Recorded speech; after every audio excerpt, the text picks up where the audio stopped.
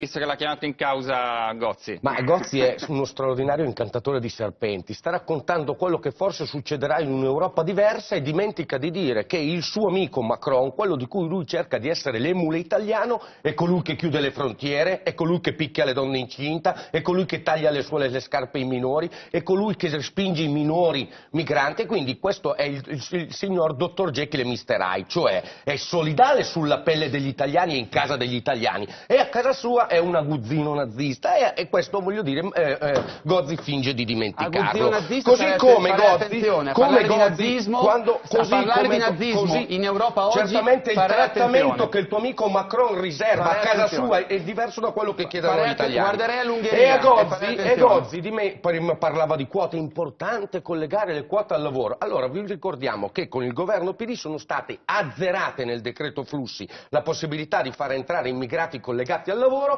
perché avevamo immigrati clandestini, perché la nazione italiana è l'unica che ha finanziato la sua invasione grazie al PD azzerando le quote legate al lavoro.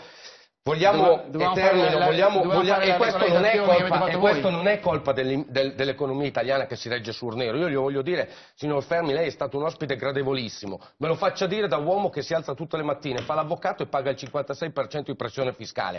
L'economia italiana, l'economia italiana non, è che si ba- non è che perché l'economia italiana si basa sul nero arrivano i migranti, l'economia italiana a volte funziona sul nero perché c'è una pressione fiscale devastante, Certo. con la quale noi paghiamo an- anche, anche le organizzazioni umanitarie.